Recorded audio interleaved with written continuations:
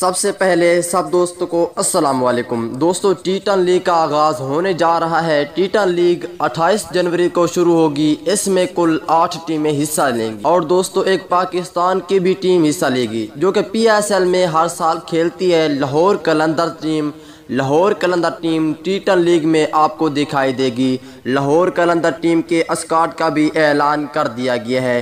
Pakistani opener बल्लेबाज शर्जील खान भी शामिल हैं। शायद आफरीदी लाहौर कलंदर टीम के कप्तान बना दिया गया है शायद आफरीदी को। और इस वीडियो के अंदर आप दोस्तों को मुकम्मल सकाट बताने वाला हूँ। तो दोस्तों, शायद खान आफरीदी और शर्जील खान के बारे में एक प्यारा सा कमेंट्स लाजमी करें। मेरे प्यारे और खूबसूरत दोस्तों, जल्दी से इस वीडियो को लाइक करें, चैनल को सब्सक्राइब करें, बेल आइकन दबाकर ऑल पर लाजमी क्लिक कर देना है।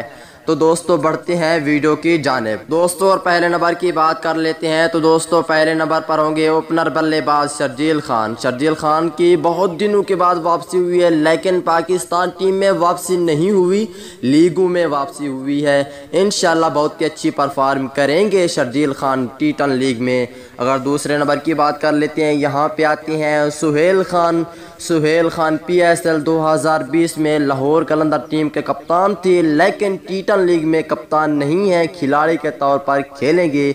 उसके बाद अगर तीसरे नंबर की बात कर लेते हैं, यहाँ पे गैर मुल्की खिलाड़ी है, टुम बैंटन, ये भी बहुत ही अच्छा खिलाड़ी है। उसके बाद अगर चौथे नंबर की बात कर लेती हैं तो दोस्तों, सबके दिलों पर राज करने वाले शहद आफरीदी, जो कि टीटन लीग में कप्तानी करेंगे लाहौर कलंदर की। और पाँचवें नंबर की बात कर लेती हैं तो दोस्तों, पाँचवें नंबर पर होंगे सुल्तान अहमद।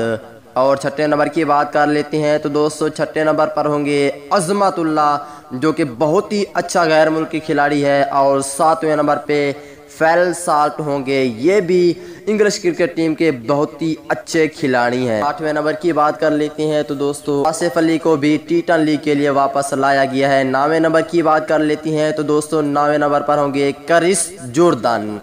और दोस्तों, दसवें नंबर की बात कर लेते हैं। तो दोस्तों, दसवें नंबर पे समित पटेल को भी शामिल किया गया है और ग्यारहवें नंबर पर होंगे हसन अली। हसन अली को भी मौका दिया गया है टीटन लीग में और बारहवें नंबर पर होंगे माज खान। तो दोस्तों, ये था सकार लाहौर कलंदर टीम का टीटन लीग के लिए। अगली वीडियो तक इजाज़त दीजिए। अल्लाह हाफिज।